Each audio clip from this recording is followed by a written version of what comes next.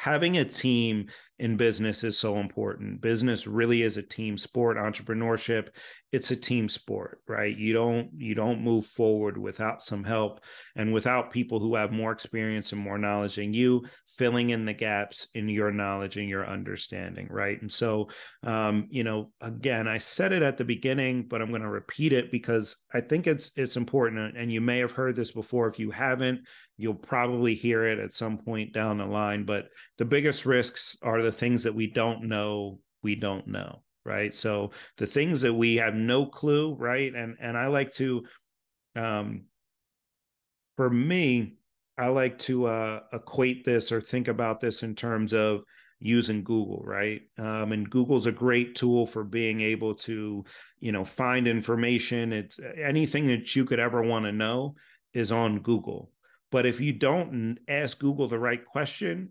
Google's not going to give you the right answer, right? If you don't know the right question to ask, then you're not going to be able to get the answer out of Google that you're looking for. And I mean, even the same thing with with AI, right? If you're using Chat GPT, if you don't put in the right prompt, um, the information that you're getting back from that AI, from that machine, is not going to be useful to you because it's not giving you the information that really fits your circumstances. And so you want to make sure that you find professionals in all different areas um, who really fit in with your team, fit in with you know what you're trying to do and and are able to help you advance and fill in those gaps in your knowledge um, and specifically um, you want to build a, a, team of professionals, um, you know, who are knowledgeable, who will warn you about future challenges that you haven't considered, and really just help you understand how you want to be prepared for them, right? And so when we think about what does that look like, what qualities do we want to have in a professional that we're adding to our team, um, specifically when we talk about the legal aspect of things, right? Um, what is what is having a, a lawyer on our team or a legal professional on our team who can help guide us around some of those legal issues?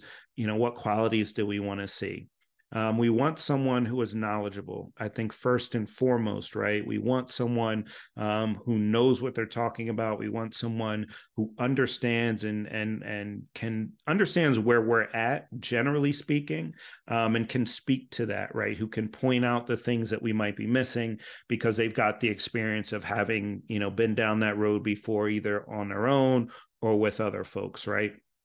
Number two, we want someone who listens right? We want someone who understands that a one size fits all approach does not work. Okay. Everybody's got a specific set of circumstances um, that you've got to work with. And so coming up with a solution or coming up with a strategy that fits uh, for someone, for one person, is not that strategy is not necessarily going to fit for another person. And so you want someone who listens, who's going to take the time to understand your goals, understand your needs, also understand the way that you like to work and is who's going to be able to adapt to that.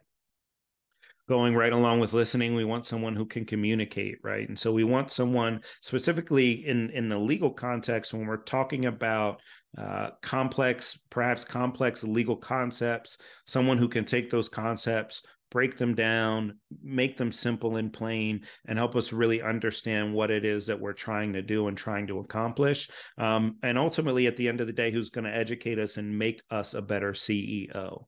All right. And last but not least, last but not least, affordable all right and and just in terms of somebody who we can afford it's great to be able to say i've got the biggest law firm on my team but if you can only afford two hours worth of work from them um, because they charge $600 an hour that's not going to do you a whole lot of good right? Um, in terms of the things that you need to get done and so uh, making sure that it's someone who has options that fit within your budget um, and that might not that might you know look different ways for different people right? But um, just someone who's able to work within our budget and help us find solutions within that, right? And so, oh, oh well, uh, look at that. Um, so knowledgeable, someone who listens, someone who communicates, and is affordable. Um, a little joke here, obviously, you know, Dylon, Dylon, Dylon, and Dylon.